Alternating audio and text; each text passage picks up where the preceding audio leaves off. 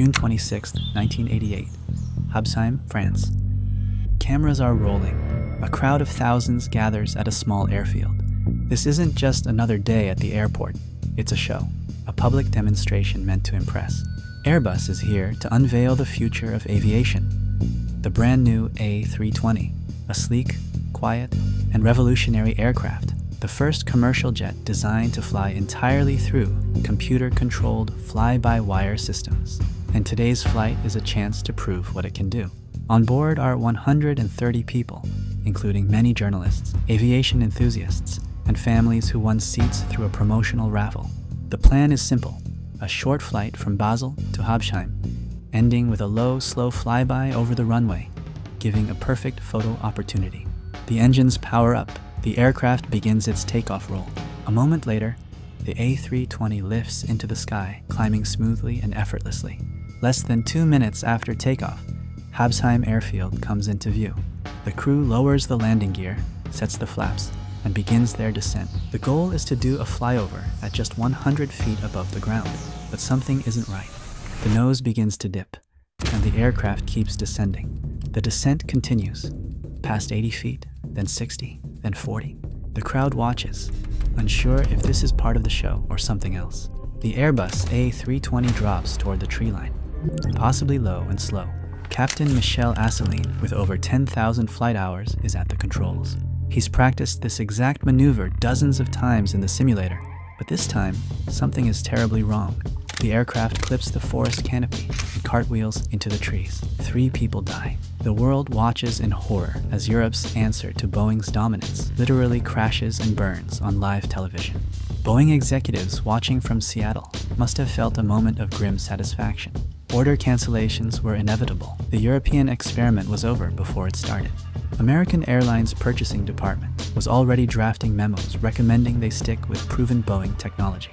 But then the investigators started sifting through the wreckage, and what they found changed everything.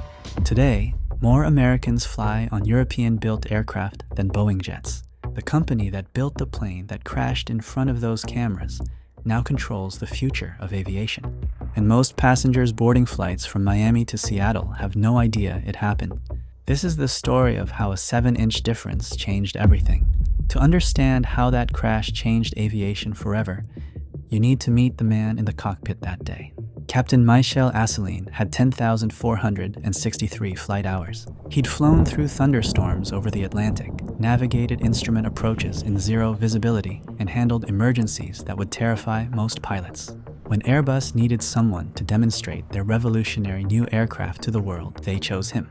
As the A320 descended toward the tree line, something went wrong. The aircraft was too low, too slow, with no energy left to recover. In any conventional Boeing, that meant physics would take over. But the A320's computers detected the impossible flight parameters and fought back. The fly by wire system automatically pitched up, added power, tried everything in its digital arsenal to save an unsavable situation.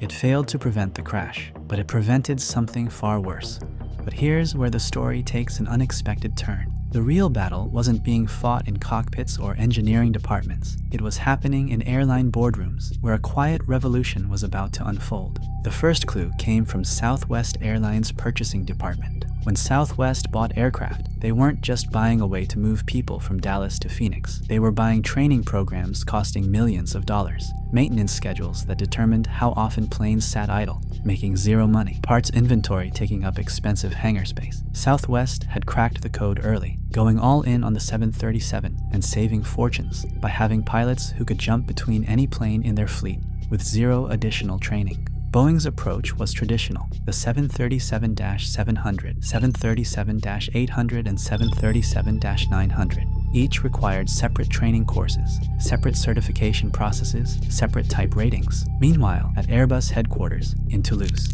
engineers were making an almost impossibly ambitious promise to airlines from Air France to British Airways. They'd build three different aircraft the A319, A320, and A321. That would feel completely identical to pilots. Same flight deck layout, same procedures, same type rating. A pilot trained on one could fly all three with maybe a day of differences training. The math was staggering.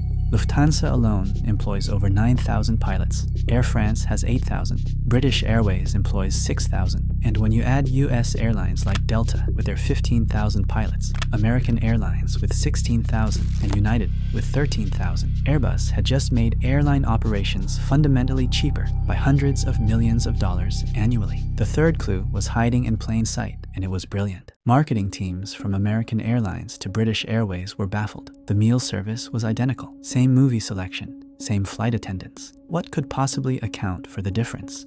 Then someone in Airbus's cabin design team in Hamburg revealed the secret. 7 inches.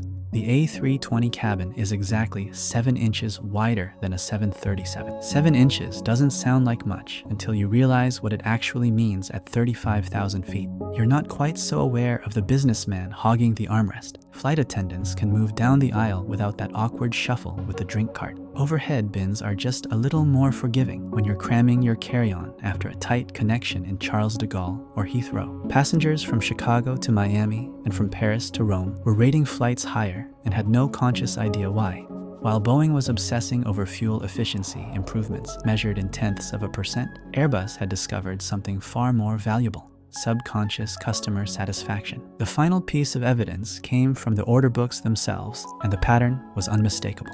The numbers today tell the whole story. In the last decade alone, Airbus racked up orders for nearly 9,000 aircraft, while Boeing managed about 5,000 net orders for the 737 MAX. That's not competition anymore, that's market domination. The Airbus A320 is now literally weeks away from overtaking the Boeing 737 as the world's most popular airliner. Boeing has delivered about 12,175 aircraft in the 737 family. Airbus, 12,155. We're talking about a gap of just 20 aircraft. But here's the remarkable part of this conquest. Most passengers flying from Orlando to Newark still have absolutely no clue which plane they're boarding. The A320's victory is almost entirely invisible. No Time magazine covers, no dramatic headlines about European conquest of American skies. Just millions of Americans getting where they're going a little more comfortably, while airlines run their operations a little more efficiently.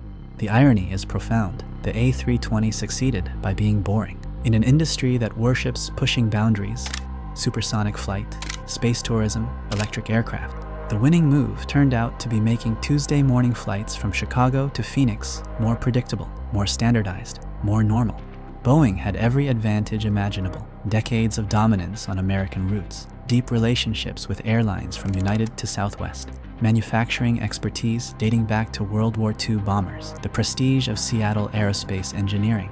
They lost not because they built bad airplanes, but because they got comfortable while Airbus obsessed over details that seemed trivial but weren't.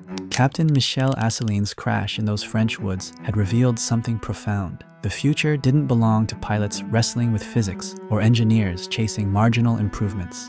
It belonged to whoever understood that aviation is ultimately about people, the passengers in the back and the accountants in airline headquarters. Today, the A320 family carries more American passengers every year than any other aircraft type. Airbus production slots are booked solid through 2030.